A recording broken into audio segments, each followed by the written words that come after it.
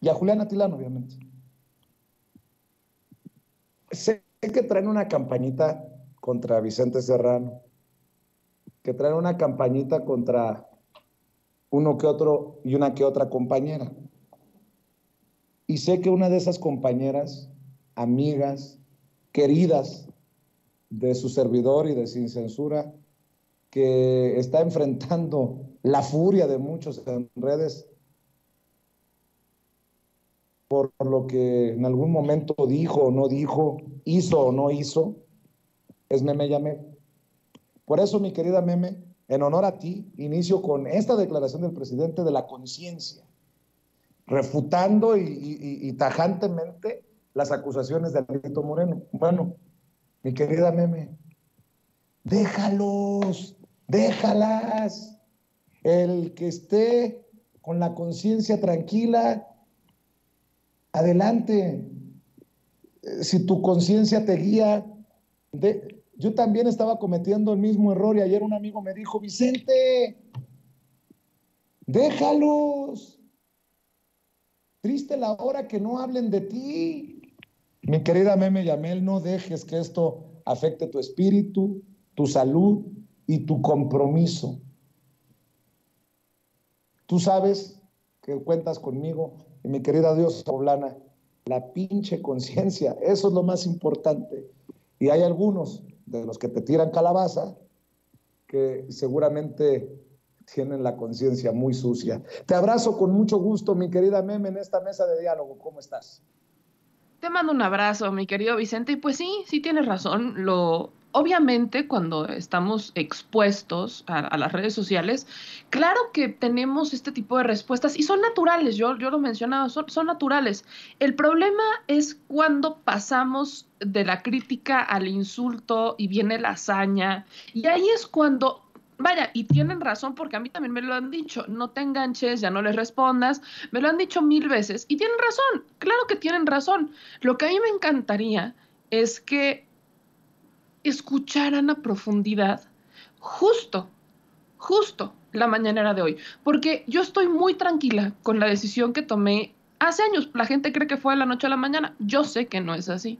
Yo sé muy bien que no es así. Y justo, justo como lo decía bien el presidente, y cuando ponía, que también pusiste hace un ratito con, con mi querido Sevilla, este fragmento de la entrevista del Papa, cuando decía el tema de la difamación, por supuesto que hay una, vaya, eh, entre calumnia y difamación, porque solamente sacan lo que les conviene, juegan con la narrativa, la ponen a su modo, a su conveniencia. Y yo, vaya, soy curiosa, ya sabes que soy aparte bien necia, también soy terca. Entonces me puse a buscar, yo no sabía cómo hacerlo, ya le encontré la manera, y me puse a buscar justamente, justamente mis tweets del 2017 y los puse en contexto. Ahora sí que la gente se, se genere un criterio propio y si quiere criticar, que lo haga, que haga esa crítica, pero que la haga con todos los elementos, con todos los tweets de la misma época, para que no se deje influenciar. Lo que sí me parece preocupante, y es lo que habíamos platicado ya en varias ocasiones, mi querido Vicente, es que es, es un, hasta yo lo, lo, hemos pensado, lo platicaba también ayer con Alina, porque también se le van a Alina encima, se le han ido a Hans, es a ti también. O sea, los que menos hacemos contenido lucrativo con eh, eh, el nombre de Andrés Manuel López Obrador, los que más hemos cuestionado y que más hemos criticado, son los que se nos van encima. Curiosamente, aquellos que dicen que son, este, pues como cadeneros o los puros de la cuarta transformación.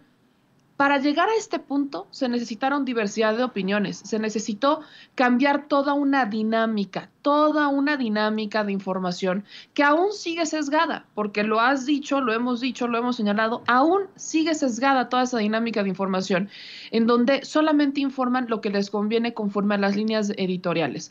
No seamos iguales. Si queremos criticar porque es muy válido, critiquemos, pero con todos los elementos, que se genere un criterio propio y no cometan los mismos errores de aquellos a los que critican.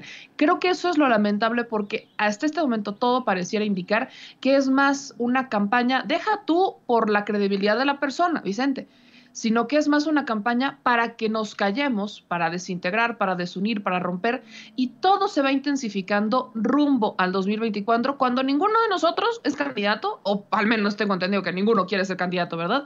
Entonces, cuando ninguno de nosotros está en, esa, en ese tenor, y lamentablemente quienes no están cuestionando son a quienes sí aspiran a ser candidatos y que este, sí se debería de cuestionar el por qué su transición ideológica, porque ellos sí están aspirando a un cargo y ellos sí vivirían del erario. Así que yo lo dejaría ahí, es un tema muy para la reflexión y yo sigo invitando a la gente para que por supuesto cuestione y critique, pero que no lo hagan a como lo ha hecho toda la vida los medios tradicionales y la derecha.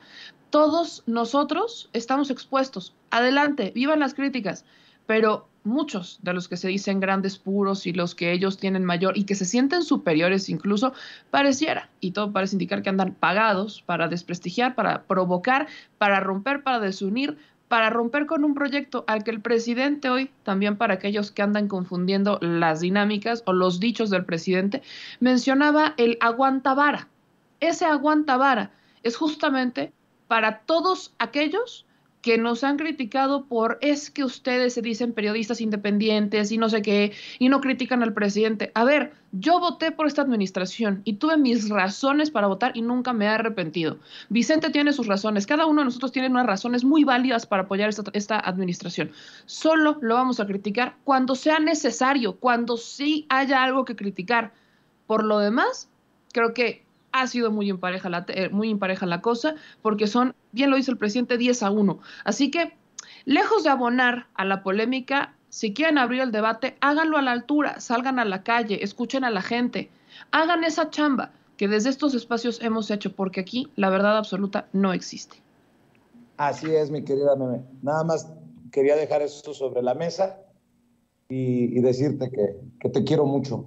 La diosa poblana Meme Yamel, junto a Juliana Tilano, sociólogo, analista,